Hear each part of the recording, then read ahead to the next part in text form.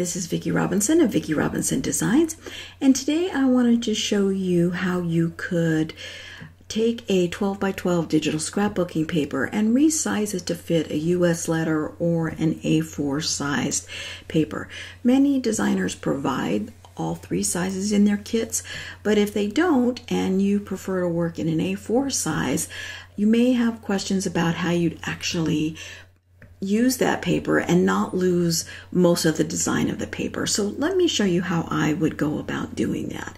Now this in this particular paper right here, it's really not going to matter, right? Because there's no specific design on one side or the other that causes any problems. I've opened up an A4 document over here, and let me just go ahead and drag this paper on top of this one so you can see what I mean. It really doesn't matter where you place this paper. It's just sort of a generic pattern. There's nothing really repeating about it that will cause the paper to look strange when you go to use it. So this kind of paper, obviously a solid paper, it really doesn't make any difference. Let's go ahead and delete this one. But the question might be, what happens if you wanted to use say, a paper like this. This is one of my Autumn Breeze papers. There is a very obviously sort of a spiral bound notebook side to this page over here and then on the right hand side you see there's some botanical graphic and how in the world will you get that that both to show let me just drag this one over here on top of that paper if you hold down the shift key when you're dragging and dropping a layer the layer will land right in the middle of uh, your document. And this is what you would look like if you just chose to do this in the middle. So you actually do have an option of making a paper that looks just like that. Let me go ahead and clip this down for you so you see. Okay, so you could actually do that, but you do lose what's on the left hand side. Let's do move this over so you can see Controller Command T, and I'll move it over here.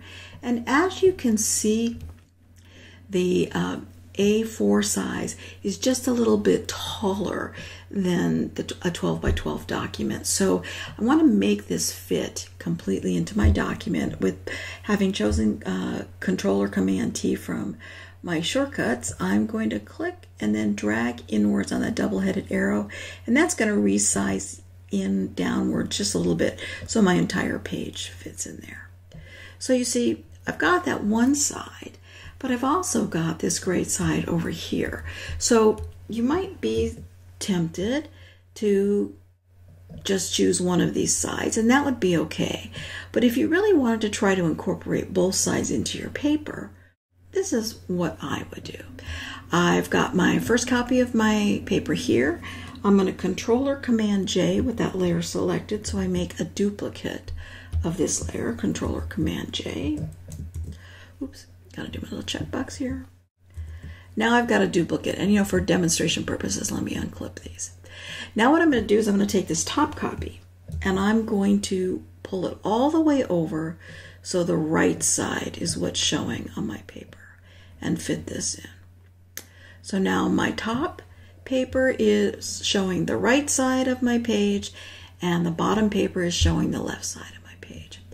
Now what I'm going to do is I'm going to add a layer mask to the top layer. Now the other thing I'm going to do before I go further is I'm going to reduce the opacity of this top layer so that you can see what I'm talking about. So with the reduced opacity, you can see there's my sort of notebook spiral bound on this side, and I'm showing the botanical here on the right. So I've added a layer mask to the top layer. I'm going to come over to my marquee tool, uh, rectangular marquee. That's You'll find that in your selection tools um, here on the right, the top one on the right column. If that is not what's showing, if you've got your elliptical marquee, you can just click down here on the tools bar, the options here to get the rectangular marquee.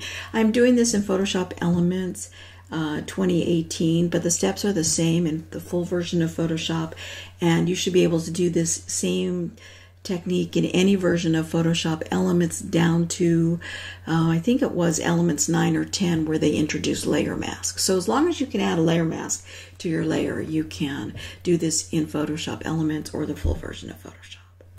Now what I'm going to do is I'm going to click and drag and I'm just going to go about halfway, click and drag, and I'm going to click and drag since I am currently my top layer is currently hiding the left side of the page. I'm going to click and drag until I've selected the entire left side of the top layer.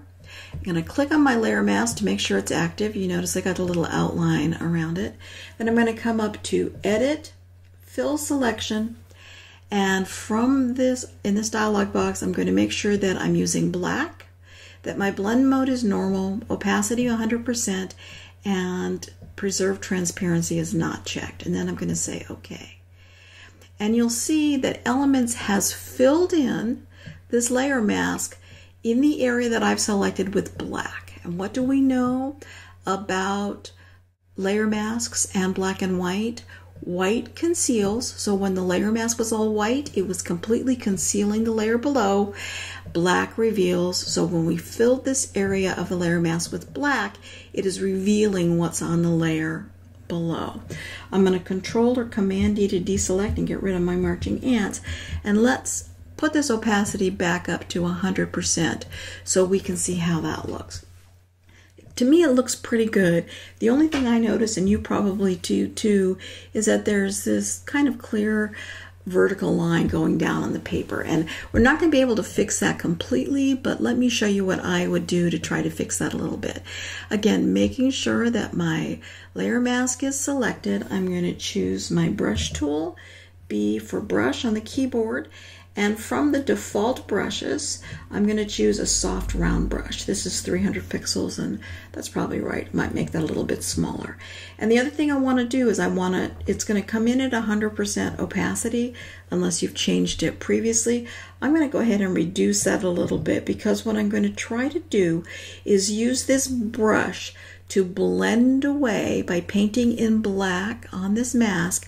I'm going to try to blend away and fool the eye into thinking that there's no line there. So let me show you what I mean. I'm just going to stroke like this over the line. And I'm doing it quite gingerly, You make my brush a little bit smaller, because I just want that line to be not quite so obvious. And maybe I can increase my opacity just a little bit more. Maybe go to 50-50 here. And what's happening is I'm softening the edges of this black layer mask by adding some soft edges with my soft round brush. So, and I'll even try going here in a circle. That actually even works better because then there's no definite line. Do you see what I'm doing? Just gonna drawing little circles with my mouse all the way down here. So I actually think this looks pretty good. Um, here was the original paper without that side, and then here it is with this side. So there are going to be times when you can't do it perfectly, but for the most part, you can come up with something where you haven't lost the main idea of the paper. Let's try another one here. Let's try this autumn breeze one. This will actually be a little bit easier because there's already pretty empty in the middle here. I'm going to click and drag this over my A4 paper. Hold down the key, uh, shift key, I centered it. So I'm going to click and drag here. And when I get my controller command T transform handles again, you see that it's a little, not quite fitting in and I want the whole paper. So clicking and dragging, when I get the double-headed diagonal arrow, clicking and dragging in, the paper will fit and dragging it over here, saying okay. Now controller command J to duplicate the layer. And this time I'm going to click and drag with my uh, control uh, transform handles and drag it so I see the right side of the page. Once again, I'm going to um, lower the opacity, and that's really just so you can see what you're working with. Actually, this is kind of goes together pretty well. I don't think I'm losing very much at all by doing this. So remember the next step is to add a layer mask and then come up to your rectangular marquee tool. And then click and drag. Remember, it's the bottom paper I'm hiding and it's so it's that left side I don't want to show when I got my papers combined. So let me just go ahead and go maybe right about here. Click and drag, making sure that your layer mask is still selected, edit, fill selection, and it will remember your last settings, fill with black, Mode is normal, opacity 100%, and don't check. Preserve transparency and say OK. So now Control or Command D to deselect and let's see if I need to do any work. You know, because of this paper, I don't feel like I need to do any blending here at all. I don't see anything in particular that gives me an overlap. Maybe, let's look at this. Maybe there was something. Nope, I really don't see anything. Let's see what would happen if we went ahead and chose the brush key anyway. And remember, I'm a soft round brush. I'm down at about 40% here. And I'm just going to go make some light circles around here. So you see, maybe it carried these little dots in a little bit more. But really, I think that re worked really well for this. Oh, you know what? Let's turn the opacity back to 100% uh, so you can see. So as far as I'm concerned, that looks really good to me. At this point, I would right mouse click on the top layer and say merge down.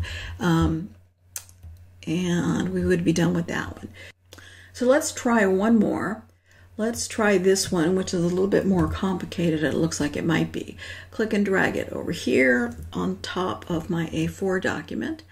And now I'm going to move the left corner into place Let's hide this one down below. You can see that I still need to resize a little bit in. Click and drag in. That looks good. Control or Command J to duplicate the layer. And then move this side in. Let's reduce the opacity so we see what we've got to work with here. Well, this is going to be a little trickier because I can see there's words up here at the top. So let's just go ahead and do our, let's do our little thing here. Let's uh, add the layer mask and then come to the rectangular marquee tool and click and drag from here to the left. I can see a couple problems with this already. Let's see if you see them, on, see if I'm right. Now come up and edit fill selection with black. Control or Command D to deselect. And let's put this opacity all the way back up to 100%.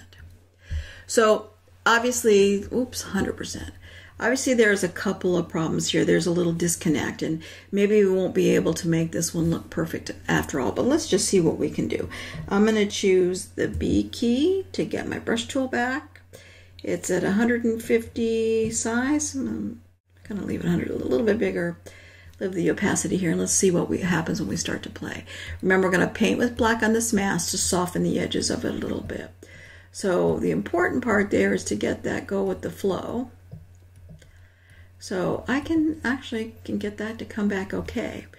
And I see a little bit of a difference here because this paper on this side is a little bluer and here was a little bit whiter. So I'm going to make my brush bigger so that I'm covering a wider area and I'm just going to do those little sort of circling motions to try to blend it just a tiny bit. See how it's still, you can see over here on the mask, it really is not a lot, but it made a difference to me. I can see that they're just a little bit blended. I'm going to make that brush a tiny bit smaller. I'm using my left and right bracket keys to do this. Because now what I've got to try to do is see if I can't fix this a little bit. And this might be more of a challenge than we bargained for. So I'm just going to start making these little sort of circular motions here so that I'm not making a line to see if I can get some more of this circle to show up. and see what I can do about that.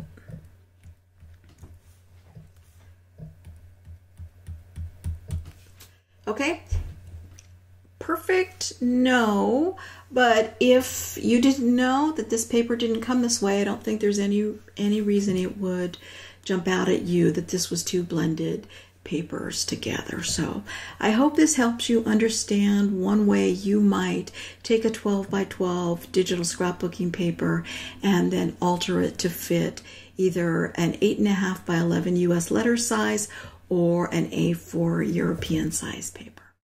Thanks for watching.